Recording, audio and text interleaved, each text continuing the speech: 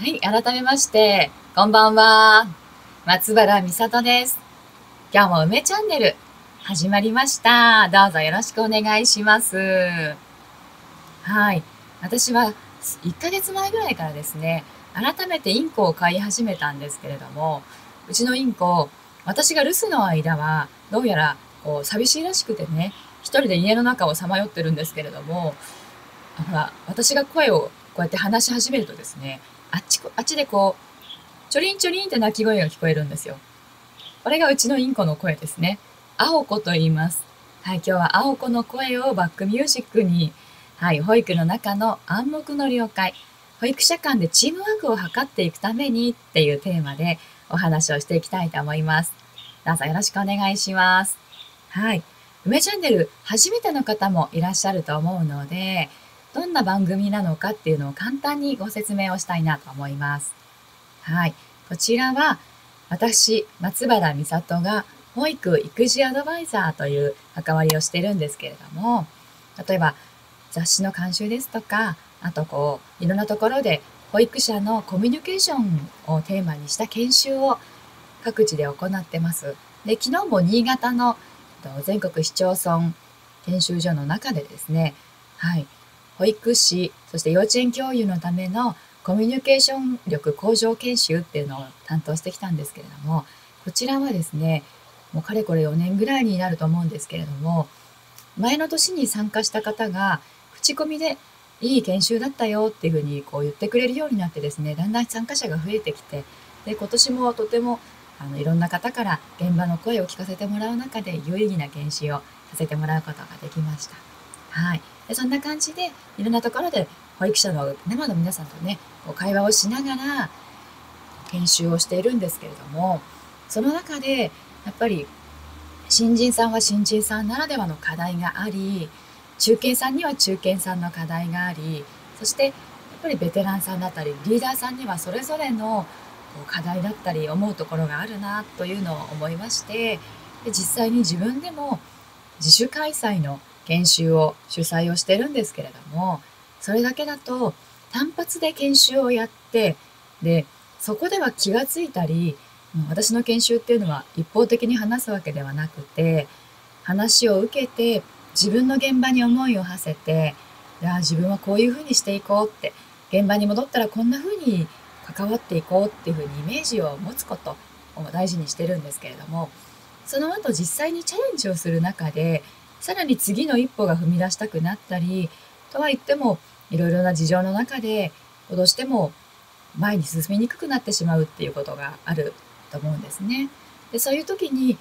立ち戻ってきてあそうだったって私あの時に研修の中でこんな気づきがあってこうするって決めたんだったあそうだそうだこんなヒントがあったんだっていうふうになって自分からまた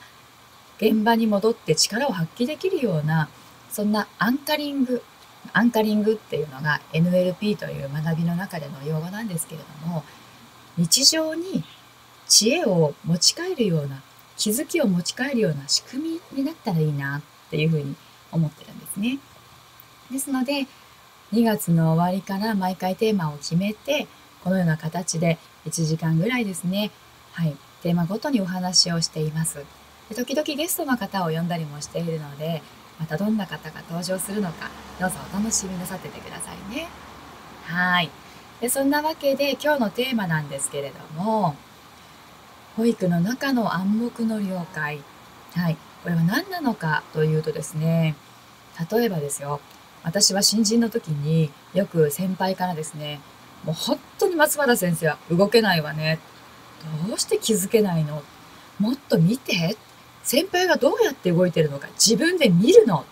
言われなくても自分で動いてっていうふうに言われていたわけなんですよ。でも当時の私は何に気づけばいいのかもわからなかったですし、何を求められているのかがわからなかったので、すいません、あ、すいません、あ、なんか何やっても叱られるし、何言ってもあの、それは言い訳でしょって言われちゃうし、気を使って先回りして動いたつもりが、あなたそれは今しなくていいのよって言われちゃうしで、もうなんだかどうしていいかわからなかったっていうのが1年目の葛藤だったんですね。で、実際私は保育園の後に児童養護施設に勤めてで児童養護の中ではいろいろとこう子供と日常生活を共にしていく仲間たちと先輩たちと一緒に後輩たちともやってきたんですけれども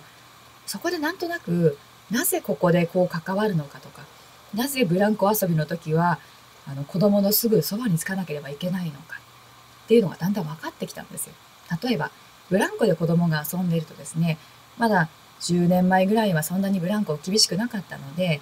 あのあったんですね。愛知園の庭にね。でそうすると子供たち乗ってるんですけども体の体幹がしっかりしていなくてブランコに乗るとですねまず手だけ掴んで腰から落ちるんですよ。でコテってなってゴツンって下に落ちるんですね。でそうなった時にブランコがカコーンって前に行ってまずカコンと打たれるんですね。で打たれた後に戻っえーって泣いてる間に戻ってきたブランコにまたカコーンって打たれるんですよ。であーって泣くんですね。でそのままそこに居続けると永遠にそれが繰り返されちゃうのですぐに止めて危ないよって、ね、今ギュッと掴んだけどお腹に力入んなかったかなって。じゃあ次どういう風になろうかねとかもしくはじゃあブランコたくさんね楽しく乗れるためにもうちょっと体にいっぱい遊ぶことによって体幹とかそういうのをしっかり鍛えてその後でブランコ乗ろうねまず違う遊びしようかっていう風に段階を見極めたりですとか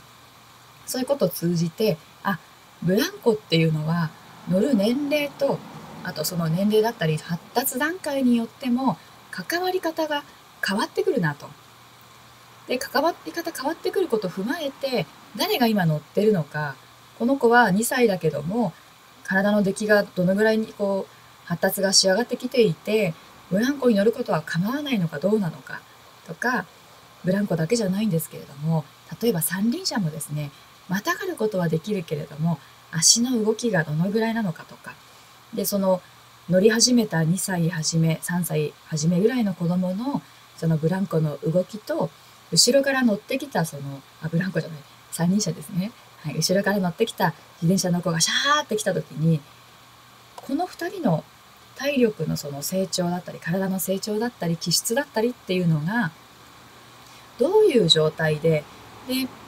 追い越しができるのかそれとも普通に2台でスーッと行くことができるのかとかそういうのを見た上で判断してでスムーズに行くように促していくっていうことをやっぱりやりながら覚えていったんですね。でそれってみんなどうやらあの言われなくても自分の体感で覚えていってでなんとなくお互いに配慮し合いながら子供を見るっていうのがこれが保育の暗黙の了解になっていたんですよね。はい。で、そんなわけで、私、個人事業主になって、こういう講座ですとかね、講師の活動をなかなか最初から軌道に乗らなかったので、その間、派遣の保育士をやっていたんですよ。あの、短大の方に登録しませんかっていう案内が行ったようで、そこから、はい、あの、さゆり保育士会だったからなんだ忘れちゃったんですけどね。はい。なんかその会に登録をした中で、結構都内のいろんな保育園行ったりですとかあと住宅展示場とかねいろんなアルバイトしたんですけれどもやっぱりいろんな園に行っても基本的に保育士の動きって似てるんですよ。園の作りや方針はもちろん違うんですよ。けれどもその中で、えーと、子供につく時の保育士の動きリーダーがみんなに対して今日一日の動きを話をしている時は私みたいにフォローで入ってる保育士1日だけ単発で入る保育士はどういう立ち位置で例えばあのいきなり前にズイズイと言って子供に関わるのではなくて話をしている時は子供の全体の後ろについて全体がリーダーの話を聞けるようにフォローしていくとか、はい、とかもしそこでこうなかなかこうぐずってしまう子がいたらそっちにピンポイントにフォローでついてこの人の気持ちを受け止めていく中でチームとして動くように何ですかね黒子になっていくっていう感じですかね。はい、でそういうのがやっぱりここでも一緒なんだなっていうのを思ったんですね。でそんなわけで、まあ、ひょんなご縁で保育園の施設長をやらせてもらうことになったんですけれどもその時も自分が私は施設長なんですけれども人がいないところにピンポイントにフリーで入っていたんですね。はい、でその時に先生、今日2歳児いいですか？この時間帯だけ、あのゼロちゃんのフォローお願いします。とかあと幼児さんこの帰ってきた後の時間だけフォローお願いしますって言われた時にも自分の中でそのクラスの子どもの顔とあと先生の保育の様子仕方あと先生のこう雰囲気クラスに対する思い個性っていうのを全部ひっくるめた上で今どの時間で私はどこに立つとこの先生のフォローが際立つのか先生の保育がうまく進むようにできるのかっていうのを考えてなんとなくやっぱり動くことができていたんですよね。なので割とあのスーッと風のように入りスーッと水のように馴染み乗ってきたら時間になってスーッと消えていくっていうことができていたんですね。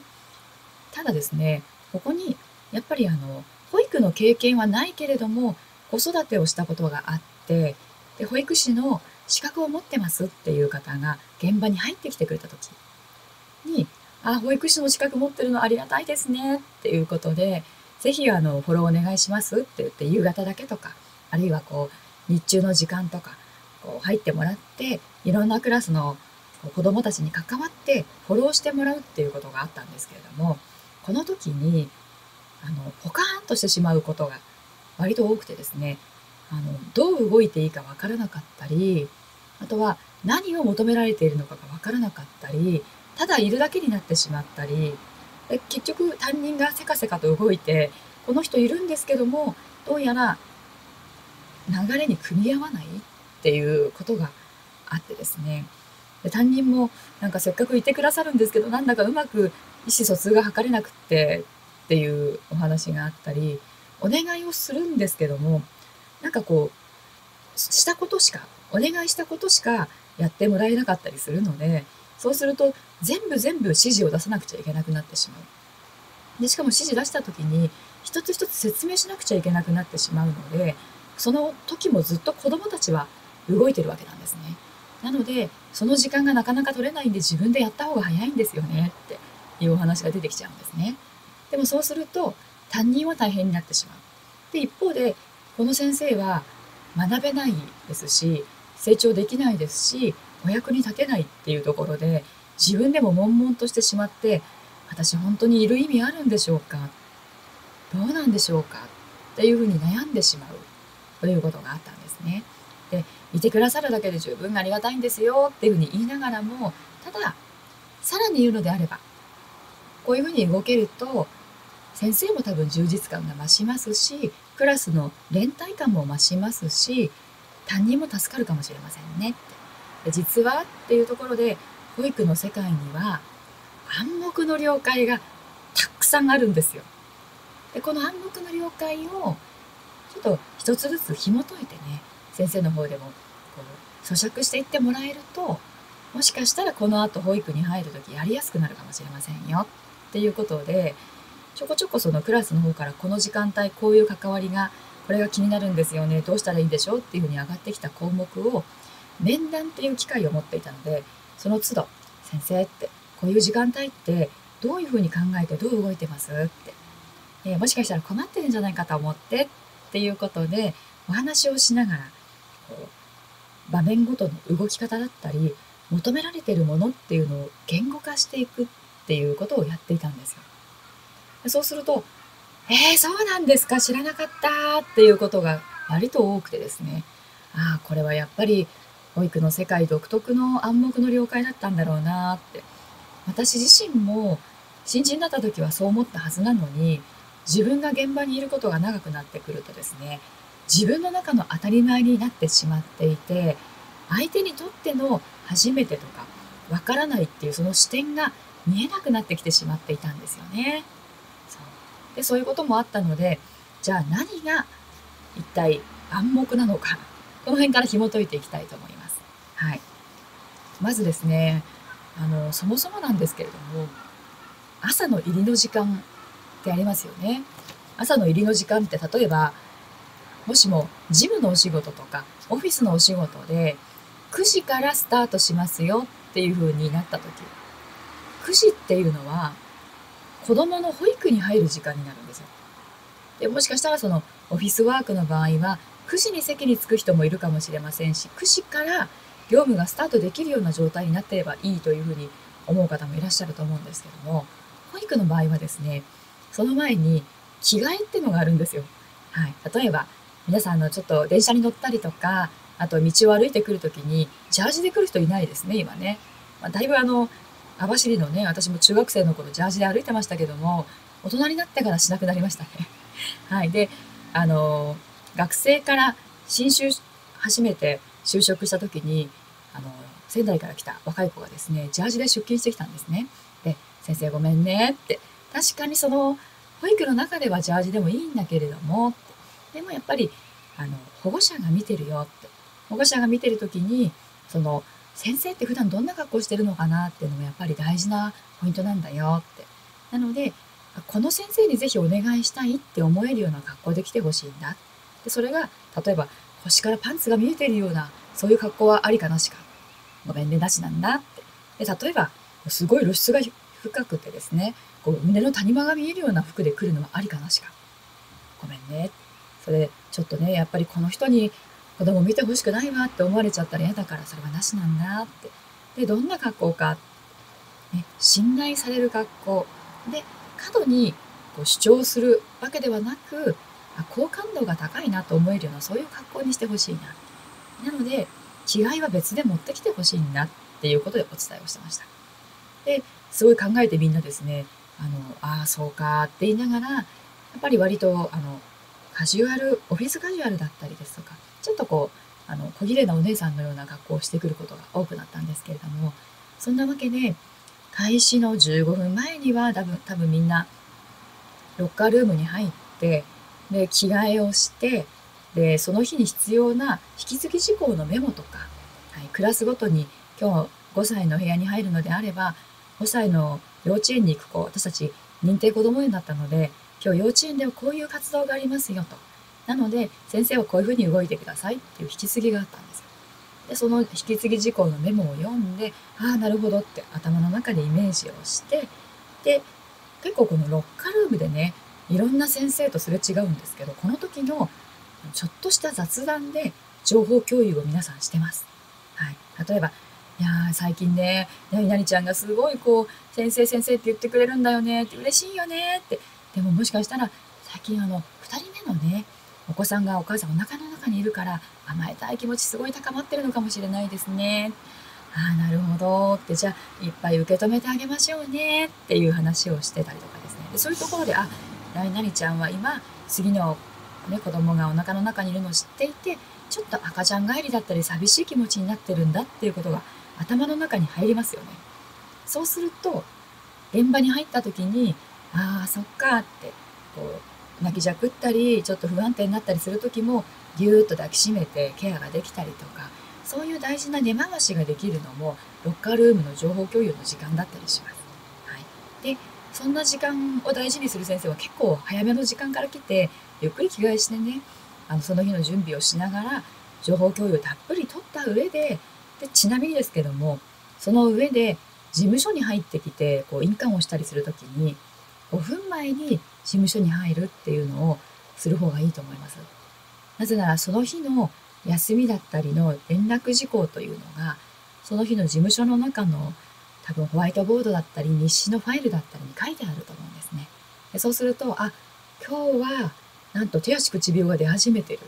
とかあインフルエンザの気配があるとかなんと子供より先に先生がかかってしまったとか、じゃあ私も気をつけなきゃとか、そんな風に情報共有ができるので、それを頭の片隅に入れながらクラスに入っていくってことができるんですよね。なので開始前のこの準備の時間も実は保育始まってますよっていうことになります。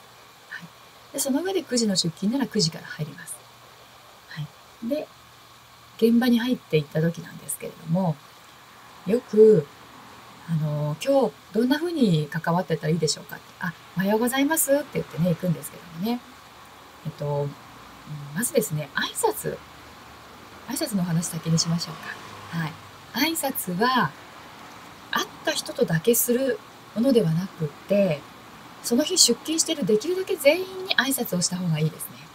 はい。これ多分オフィスだと自分が顔を合わせた人だったり自分の上司だけだったりにご挨拶をして他の人が会う都度に声かけるのかかけないのかっていうところあると思うんですけれども保育の場合は全部がチームなので特にそのフロアにいる全員が実は情報共有をするベースになるんですよ。なのでできるだけおはようございます。おはようございます。おはようございます。あ、先生今日なんかマスクしてますけど大丈夫ですか？体調とか、あとこうなんか眉間にしわ寄ってますけどなんか困ったことありました？とか、ね、先生今日エプロン新しいの可愛いですねとか、そんな風にお互いに声かけ合いながら挨拶をしていきましょう。でそうすると、そこで、あ、この人は今日出勤だっていうのがお互いのアンテナの中に入るんですよね。そうすると、例えばこの子を見るときに、目の前の子供を見るときに、この先生にお願いして自分は違うことできるかもしれない。例えば給食を取りに行くとか、あるいはちょっとこう、そうですね、ご飯時にあれなんですけども、ちょっとこう、下のお世話ですとかね、そういうことがあった時にも、あ先生お願いしますって、私こっちにちょっとかかりますって、声かけ合う、その仲間の一人だってことが認識できるようになるんですよね。はい、とか、あとこう、先生はたまにこう、なんですかね、週に1回、2回の出勤の場合とか、前回先生来た時に、もしかしたらこの情報はなかったかもしれないけど、新しい情報で伝えておいた方がいいことがあるので、ちょっと今お話してもいいですかっていう形で、子供の変化とか、園の方針のこう変化だったり、気づきだったりっていうのを紹介する、ちょっとこう共有をするような時間を取ることがあります。で、それも声を掛け合う挨拶がないと、お互いになかなか子供の方を見ちゃって、そこまで目いかなかったりするんですよ。なので、チームワークの輪を作るために、まずは挨拶から声かけしましょうっていうのが、これも暗黙の了解になってます。はい。で、保育に入りました。でそっからなんですけども、何したらいいですかね？って最初多分聞くと思うんですね。そしたら、こ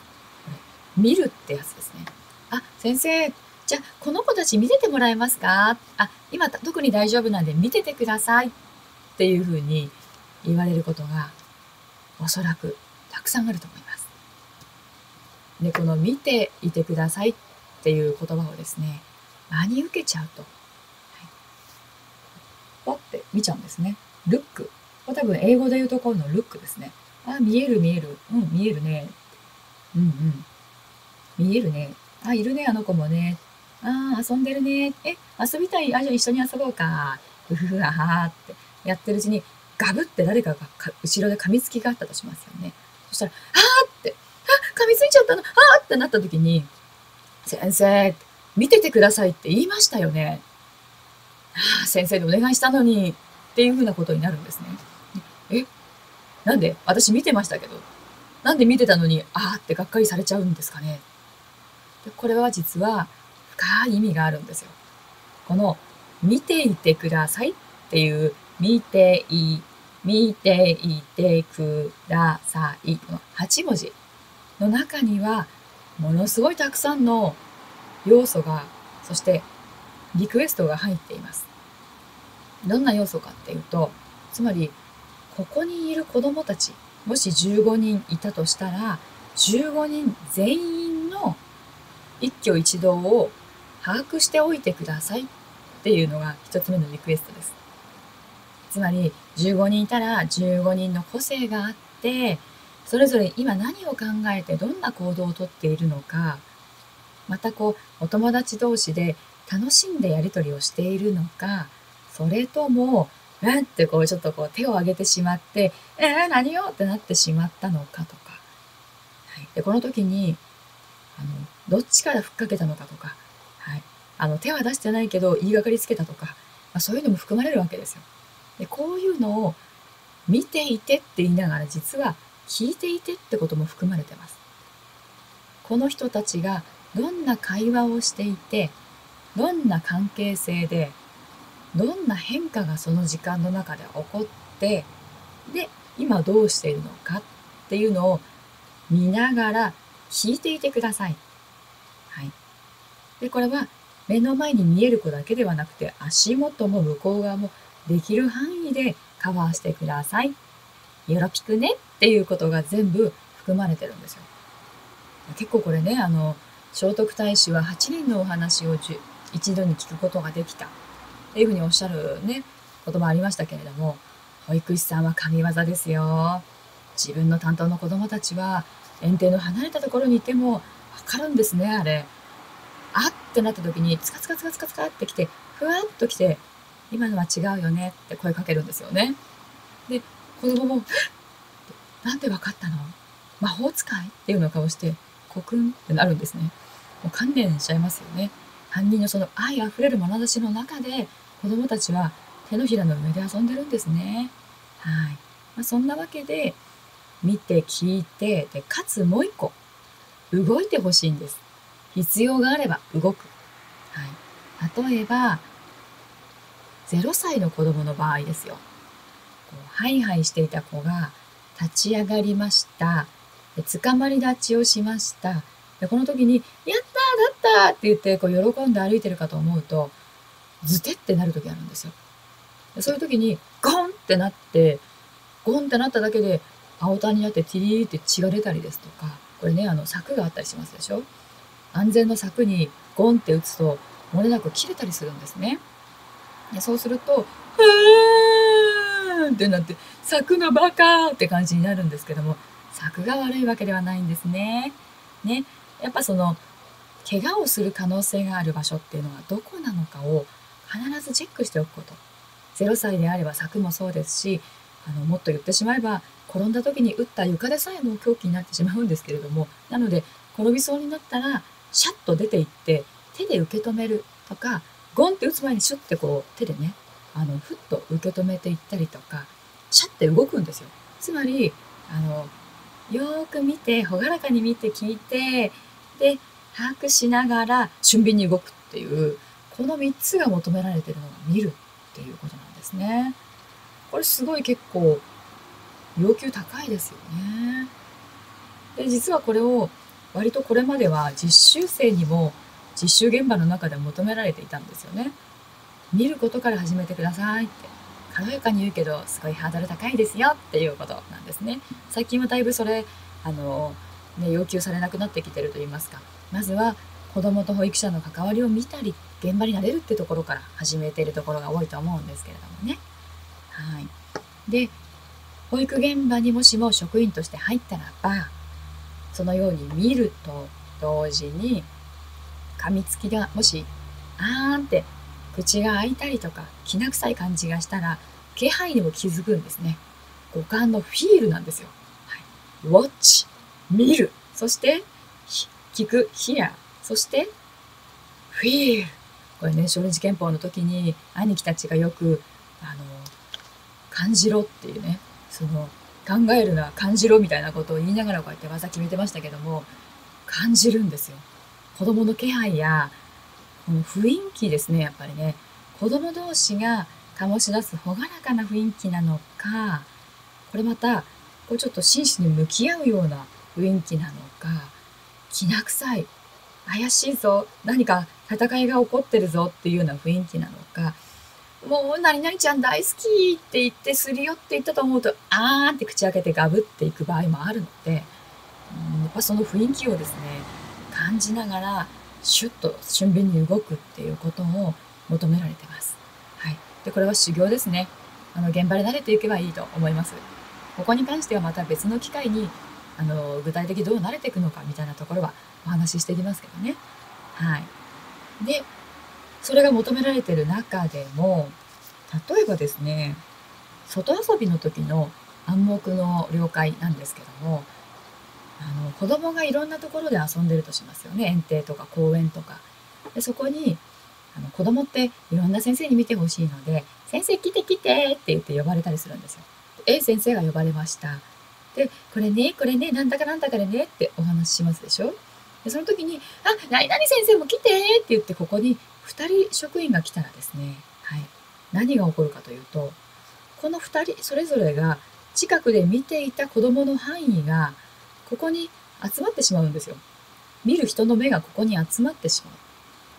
そうするとあの子供が例えば川に落ちそうとかなんかこういろんなことをしている中で小競り合いになってきたとかっていうその状況を把握する目が行き届きにくくなってしまうん。なのであの常に外に出たらあるいは子供と遊んでる時も職員は自分の周り360度必ず見てるんですよで。感じてるんですよ。なんですけども、あの子供と一緒に特定のこと関わってる時、関わりながらも360度をフィールするわけなんですけども、もう一人職員が来たなと思ったらその瞬間にふっとこっちの最初の人はふっと意識を下げる感じなんです。下げてこの人が今までカバーしていたどっちだ？この人が今までカバーしていた範囲の方を今度はこうヒュッと引いて全体見回しながらフォローするようにする。はい、でなんだったらこっちと関わるようになってきたのであればじゃあ先生お願いねってこうなんとなく目で合図して少しずつ少しずつ違う子たちと関わるように全体のフォローに回っていくようにするんですよ。はい、でこれ慣れない先生がよく起こりがちなのが「先生来て!」って言われると嬉しくなっちゃうんですね。で嬉しくなっちゃってここにずっぽり入ってあなたと私だけのあのフォーリンラブな世界になってしまうんですよ。でそうすると漏れなく目の前の子供の一挙一動は見えるけれども他が見えない。で、来て来てって言われたら行ってこうやって遊んでしまうっていう風になってくることがあって、そうすると、先生、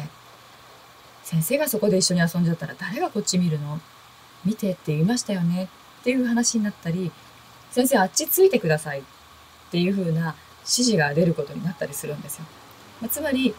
人手が薄い、その見る目が薄い地域だったり、その領域だったり、場所を必ず誰かが関わって例えばですねうん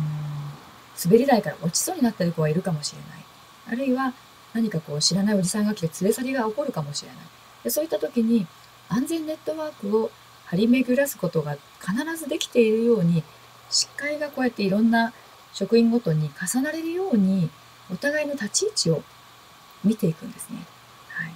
でこれができるように固まらないでばばらけるような立ち位置をお互いに守っていると思います。はい、なので常に自分が目の前の子供と関わりながら全体を見る。で他の職員がどこにいるのかを確認しながら自分はどこに立ったらいいかを見ていくっていうことを気をつけられるといいですね。はい。例えば外遊びバージョンでいくとお散歩っっていうシチュエーションもありますよね。はい、例えばリーダーの先生が先頭に立って子どもたちの列を誘導していく。この先生の後ろにこういうふうに子どもたちはついていくと。はい、で一番先頭の先生は行き先を示すとともに前から車が来ていないかとか子どもの安全を守るように配慮されると思うんですけれどもその時になんかこう子供からね、先生お隣来て一緒に手つなごうって言われると嬉しくなっちゃってまたね、子供好きが保育士になってますからね、嬉しくなっちゃいますよね。はい、で嬉しくなっちゃって、えー、何？とか言いながら、禁断ね、なんだけ？なんだけ？食べに行ってね？って言われたら、あ、そう、何々食べに行ったの？とまたこうなっちゃう。でそうしてる間に、だんだんこう後ろの人と距離が空いていってしまって、えらい長い遠足みたいな感じになってしまうことがあるんです。で気づくと一人は草むしってたりとか気づくと最後の人の方はですねもうあのずっと向こうでなんか足が足というかこう動きが見えにくくなるようなところにまで行ってしまっているそれだとまずいんですね必ず先頭にリーダーの先生がついたら子供がいてなるべくだったら後ろの一番後ろの子供についてあげるといいですねはいでなるべくこの距離は近い方がいいんですよ。なぜかというと、離れちゃうと危険があった時止められないんですね。車が突然突っ込んでくるっていう事件ありますよね。で、ああいう時に危ないって守ることができるように必ず保育士はつくようになってるんですね。で、そこら辺をお互いに先頭のリーダーと後ろの保育士、フォローに入るような先生とで連携を取りながらやっていくので、なので真ん中というよりは後ろ目だったりちょっとこう遅れがちな子に声かけながら一緒にお話しながら促していくとか、はい、で必ず全体を見るっていうのがキーワードになってくると思います保育は集団ですので集団の子どもの安全確保をしながら楽しく歩いていく、はい、で目的地に一緒に着くということを大事にしていると思います。はい、これも心がけてみてくださいね。なので遠足に行きますよ、あ、遠足じゃないですね。お散歩行きますよって言われた時の自分の立ち位置は、もしリーダーじゃないなら全体が見える場所。必ず全体を見ていくということを意識してみてください。はい。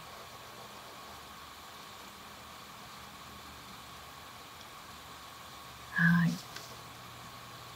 私、ドトールのアイスロイヤルミルクティーが大好きなんですよね。なので、大きいので買って、よく家で飲んでます。はい。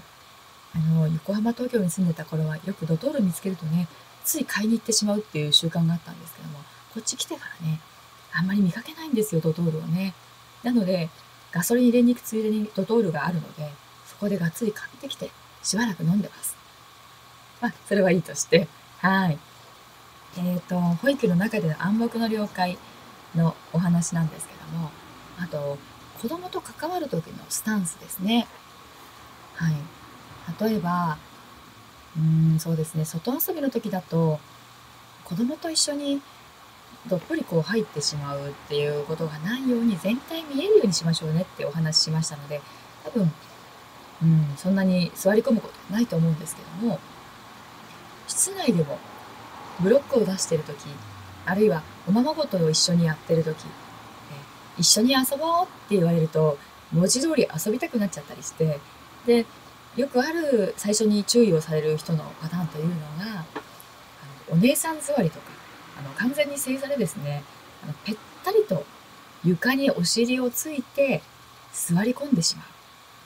う。で一旦こう座り込んでしまうとですねお尻に根が生えたようにものすごいこう楽な姿勢になってしまいましてねで子供になんか朝ごはん作りましたよとか、マッキのなんだかセットですよとか言われた時には、ああ、美味しいねとか言ってすごい楽しんじゃうんですけども、いいんですけども、もしその時、不慮の事故があったらどうしますか？その時、あなたの姿勢はどうでしょうか、でこれ多分、リーダーさんで現場に入っていて、新しい人を受け入れたことがある人だとよくね、見かけるたあの体制だと思うんですけれども、よくね、ま、座り込んでしまうと動けなくなっちゃうというのがありますね。で、大体あの、動きやすいスタンスというのがありましてね、大体保育士さん慣れてくるとみんな気づくと、こういう体勢をとってることが多いんですけども、それは、正座から片足、片肘、ん？膝ね。片膝を立てたスタンス。片膝立てて、こう座りながら、あ、いいわね。ありがとう、いただきますよ、なんて言いながら、あーって食べながらも、この片膝立てると不思議なものでね、意識がピンとするんですよね。で、このピンとした中で、全体を見ていて、あーってリラックスしているようでいながら、片膝立ててる、あ片膝立ててるので、ヒュッと立ち上がれるんですよ。立ち上がって、あ、それは違うよね。今それ、あーんするとこじゃないよってお話ができたりですとか、ちょっと遊具の違う使い方してたりとかする時ありますよね。で注意するのは後ではないんですね。子供って今を生きてますので注意するなら今です。今でしょっていうのが子供の注意の仕方ですね。なのでなんかこうだんだんヒートアップしてちょっと違う使い方になってきた。もしもしちょいとそれは違うのではありませんか？って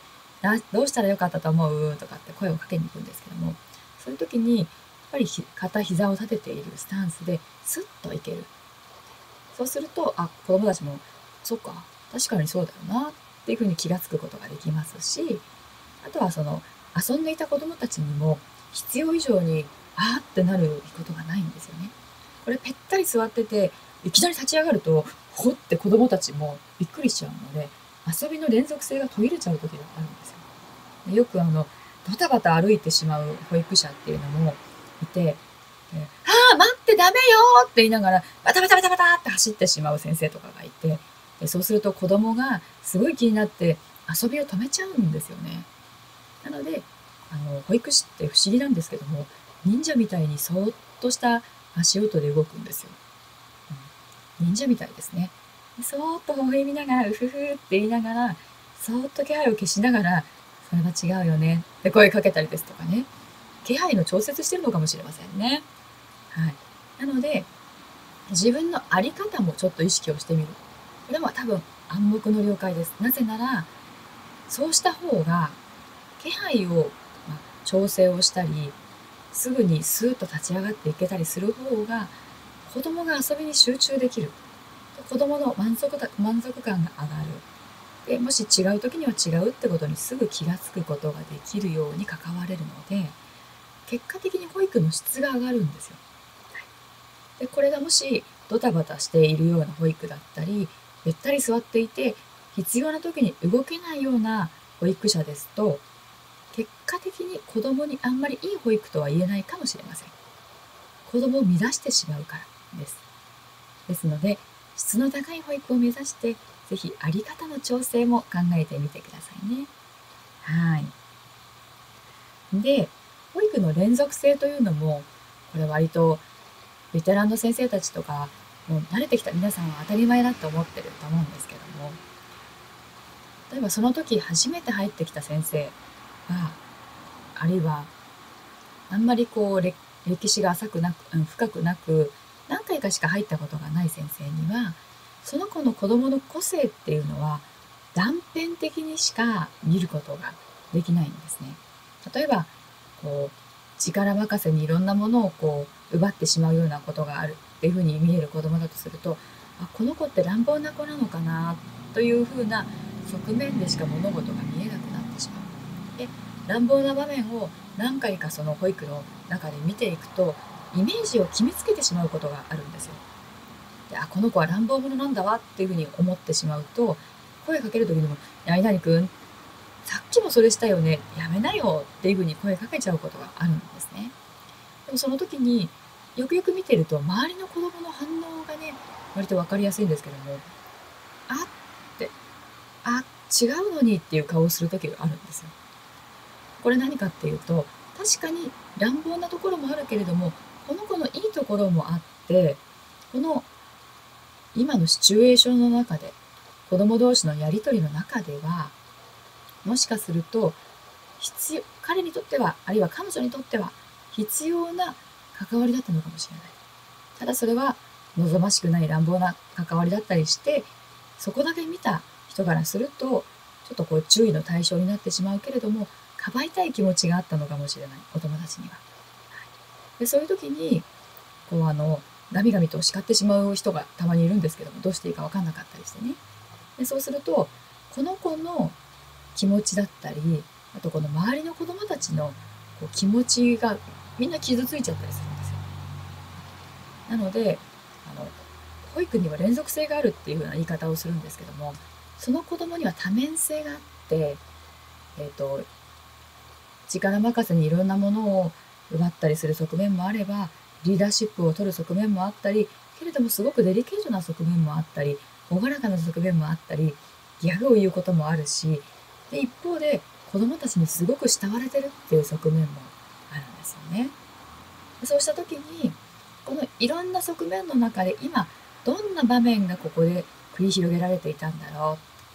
う？どうしてその行動をとったんだろう？っていうことを自分もよく観察しておく必要があるんですよ。なのでそれはさっきの子供を見る時の全体を見ておいてくださいねっていうところにも入るんですけれども楽しく遊んでいる中でのそれなのかそれともその日はずっと朝からこうガミガミガミガミなんだかこう嫌な感じの雰囲気になっていてとどめがそれなのかだとしてもその背景に何があるのかはい、例えばここ数日風邪で休んでいて体調熱はないけれどもまだ気分的に優れない状態で来ているかもしれませんよね。そしたら子供たちって意外とそういうのを感じてるので子供が「あっ」っていう表情をしたってことは何かあるんですよ。なのでもしも何か止める必要があるのであればちょっと危ないよとかって止めるんですけども嫌な気持ちだよとかその上で本人にも周りの子にも何があったの？ってどうしたの？っていうふうに事情を聞いてみるといいですね。そうすると、いや、これこれこういうことがあって、こういうことがあって、あ、そうなのその場面だけ話を聞くとこういうふうに聞こえるけど、これってどうなの？っていうとでも昨日は何々ちゃんも何々だったしその前は何々ちゃんも何々だったしっていうふうにお話が出てくることがあって意外とどっちもどっちだったりするんですよね。けれども子供って自分の言い分を主張しますしでお互いに自分の今を生きてるので今のことは言い分として言うけれども昨日のことおとついのことって特にあのあんまり悪気なくやっちゃった方は覚えてないんですね。でそうするとなんだか話が噛み合わなくなったり介入したもののこれで良かったんだろうかって悩んだりすることがあるのでそんな時はそのいろんな背景だったり連続性だったりっていうのを踏まえた上で今はどうしたらよかったんだろうねっていうのを本人にも周りの子たちにも聞いてみると割とこれいいんですね。そうすると本人はもしかしたら、ね、自分の目線で正当な意見を言うかもしれないんですけども周りの子って結構冷静なんですよ。でもね、何々ちゃんもなんか言い方嫌だったよとか、なんかでもそうは言っても叩くのいけないよねとか、どっちも謝ったらとか、構なんかまっとうなことを言ってくれるんですよ。そうすると、ああ、なるほどねって。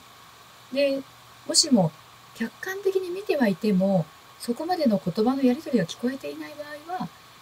先生も今このやり取りは見えなかったよ。だけど、こういうふうにいろんな人が言ってくれるんだったら、本当はどうだったんだろうねとかって言って一緒に考えていくようにすると、またうーんとかってなるんですよね。で、うーん、やっぱ良くなかったかなと。でも俺だって悪気があったわけじゃないのにとか子供同士も言ったりしますので、そうか。じゃあもしかしたら今はそういう気持ちかもしれないよね。っていうところでもしかするとここで完全に解決する必要がないこともあります。というのもここでもし一旦こう休憩というか幕を閉ざしたとして本人たちの中に課題って残るんですよね。当事者も被害者のように見えるこの人にも実は要素があってこの要素が引き起こしている何かだったりするので今ここじゃなくてもその後の段階の中でいろんな出来事が発生してくることっていうのがあります。でそうした時に何だろうねってこの間もそういえばこんなことあったね何々ちゃんはどう思う？どうしたらよかったと思う？っていうのをつどつど聞いていく中でまたこう本人にも気づきが生まれてくることがありますしで例えば週に何回かしかまだ行っていないあるいはその前のやり取りっていうのが見えない毎日入ってるけども3月以前のやり取りが全然見えないっていう場合にはこれまたあの朝のロッカーのやり取りとか休憩時間の情報共有のおしゃべりの時間が結構有効なんですね。で結構みんなあのよく事務所とか休憩室でなんか「あー」って言いながらおしゃべりしていて、ね、楽しそうだなって思うんですけれども大事な情報共有してるんですよ。でこういう時にどう関わったらよかったんだろうって思ったこのことを聞いてみるといいんですよ。先生私今日何々クラスに入ったんですけどなんかあの関わりどうすればよかったのかなんかちょっと分かんなくなっちゃったんですよねって前にもこういうことってありました？とかっていうふうに聞いてみるんですよ。そうすると、ああ、何々くんね、そうだよね、難しいよねって。私も前にね、何歳の頃にあの子にはこうやって関わったことがあるんだけど、どうやらこういう傾向があるみたいなんだよね。あ、なるほど。え、じゃあ、何々ちゃんの方はどうですか？何々ちゃんね、結構あの、優等生だよね。だけど、時々陰でね、チクってやってたりするのよ。えー、チクってするんですか？で結構こういうね、いろんな側面の話が聞けたりするので、なのでそういうところで情報共有をしとくと、その子供のいろんな面が見えてきて、お話をしながら可能性を探ることができるんですよ。ああ、もしかしたらこうなのかもしれないな。こうかもしれないな。うん、もしかするとあのお話を踏まえると今の出来事ってこういうことかもしれないな。この仮説を立てていろんなこう可能性を模索していくのもその子の本質を理解していくための大事な学びの時間だったりするんですよね。こういうのをあのよくあの仕事終わった後もいっぱい喋ってるっていう風にね早く帰りなさいとかって言われるんですけれども実は大事な時間だったりもしますね。はい、なのでもし子供理解があまりこう進まないなって思う人がいたら、えっと、本人だったら休み時間とかあとこう子供が子供を見る人の目がたくさんあってちょっと今聞けそうだなって思う時にあのベテランの先生のとこにちょっと行って先生こういうことあったんですけどどうしたらよかったんでしょうって聞いてみるのも一つ。でまた、えーと、休憩時間に何人かの先生にお話を振ってみて教えてもらうのも一つ、はい、あとはですね今なんかいいいいこと言おうと思ったんだよな。何だったっけな。うん。ちょっと忘れちゃいましたけどね。はい、まあ、そんな風に子供について保育者間で語り合う時間。これが子供理解をする上でとっても大事な時間だったりします。子供は多面体ですしあとうすうす感づいてると思うんですけどもえっと人によって子供って見せる面違いますね、なので自分にはこういう面を見せるけども他の先生にはどんな面を見せてるんだろうっていうことをこ探っていくのも一つなんです。あ思い出した。そう。何を言うか思い出しました。これをえっと子供の多面性をなかなか気が付くことが難しいなと思う先生だったり関わり方が偏ってしまう先生を見つけた中堅さんやベテランさんや、えっと、そこに寄り添う先生たちにお願いがあるんですよ。でそれはあの直接的に「先生もっとこの子の多面多面体を見てあげてください」っていうふうに直接指導をするのも確かに一つの方法なんですけどそれがわからないから行き詰まってるんですね。なのでその場合はですねあなたがファシリテーターになってあげてほしいんですよ。ファシリテーターっていうのはこの人のこう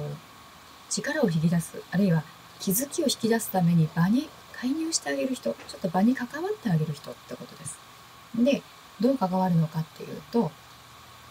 この先生がいて他の先生もいる時にちょっと意識的に話を振っているんですよ。今日何々くんこんなことがあって、ああ、私もありました、私もありました、ありますよね。っていう話に巻き込んであげるんです、この先生を。でそうすると、えって、あ、そうなんだ。って、先生もありました？とか、どうですか？と。先生から見て何々何々君ってどんな風に見えますか？って振ってあげて、会話の中に入れるようにしてあげるっていうのも一つです。というのも、こうすでにできているチームワークの中に新しく入るっていうのは結構勇気がいるんですよ。でここにはあの自分で聞けばいいじゃないっていう人もいるんですけどその人の気持ちになってください。自分のテリトリー以外のところにいきなり切り込んでいくわけですからだいぶハードル高いんですね。なのであの意識的に振ってあげてあなたも仲間ですよだから一緒に子供のこと語り合いましょうっていうのをサインで出してあげてほしいんですよ。はい、でそうするとああそうかっていうふうになって先生ももし何か考えてることとかどうしたらいいんだろうとかあったら聞いてくださいねってそこでわざとあの言葉で伝えてあげる。でそうするとあ聞いていいのかっていうふうに気がつくことがあります、はい、またもしかすると新しい方だと聞いてはいけないのかなとかこれ忙しいから今聞いちゃいけないんじゃないかなって気を使っちゃったりとか。あと、まあ、保育中あんまり基本的には死後ってしない方がいいんですよね。なぜかというと子供のことを見る意識が途切れてしまうから。自分の喋りたいことに夢中になってしまうとそのことを喋ることにいっぱいで子供が見えなくなってしまうからなんです。おしゃべりは保育外でしてくださいって、ね、関係ないおしゃべりは保育外でするといいんですよね。なんですけども保育に関係あることに関しては情報共有なので場を見て支障がなければ声を掛け合ったらいいですね。でちなみに保育のその場の中でいろんな先生がいて誰か一人に「先生これこういうことがあったんですよ」って例えば今こういう病気流行ってますよねって感染病感染症出てきましたよねっていうふうに話をしてる時この時にこの先生とこの人だけの会話だというふうに見なして自分は関係ないわって言って保育をしてしまう場合があるんですけどもこれは暗黙の了解の一つなんですけども実はあなたにも言っていますっていうことなんです。この人が誰かに話しかける時、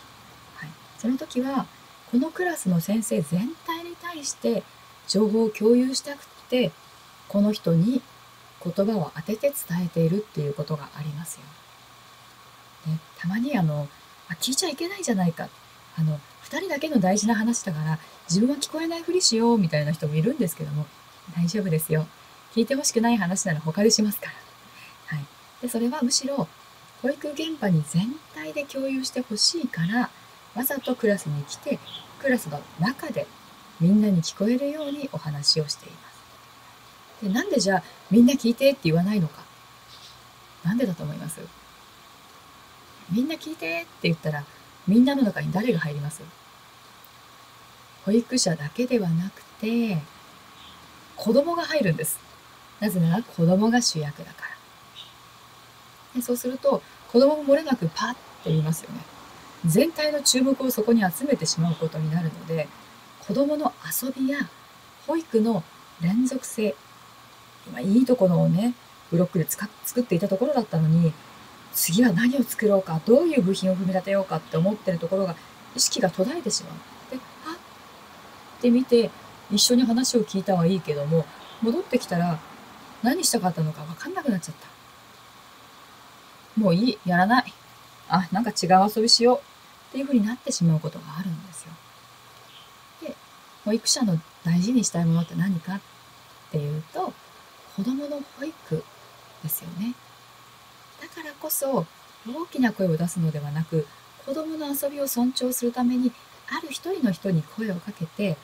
聞くともなく聞こえるように情報共有をするっていうのがよくある光景です。なので誰かの話を自分の話と思って常に自分ごとにして聞くようにしてみてください。はい。ですね。そんなところかな。はい。多分まだまだたくさんあるんですけれども、もうそろそろお時間にもなってきましたので、ここら辺で梅チャンネルを一旦閉めていこうと思います。でもしもあのこの場面ではどうなんですかとかまた私こんな風に注意されたことがあるんですけどもどうしたらよかったんでしょうっていうのがもしありましたら、はい、このアドレスですねメールアットマーク梅花リレーションズ .com まで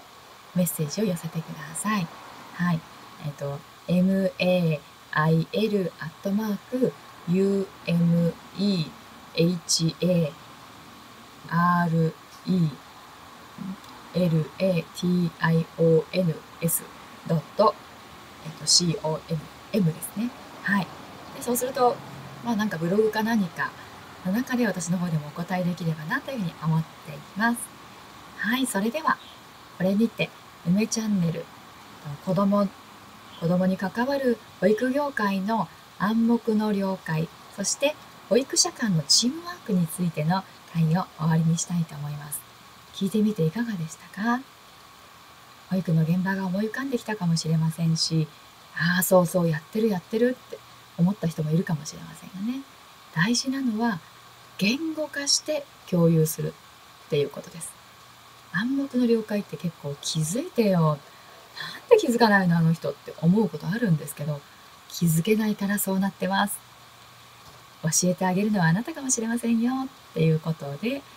ぜひ、あの、優しくですね、もしかしたら知らないのかもしれない、その方に対しての意識を開くお手伝いをしてみていただけたらいいかなと思います。